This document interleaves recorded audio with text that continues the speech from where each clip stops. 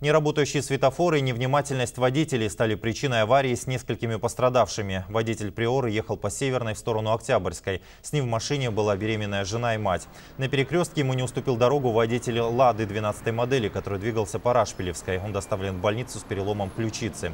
Владелец Приоры в результате ДТП ударился лицом об руль, а вот его супругу в положении врачи госпитализировали. Женщина получила незначительные ушибы, уже выписана домой, а вот другая авария в юбилейном закончилась трагически. Черная легковушка ехала по Алматинскому кольцу.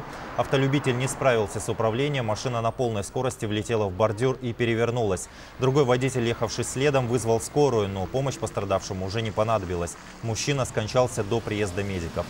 На Красной Калинина рулевой черной «Лады» поплатился за свою спешку, проехав уже на желтый сигнал светофора. Не стал пропускать его водитель белого внедорожника. Бампер отечественной легковушки разлетелся на части.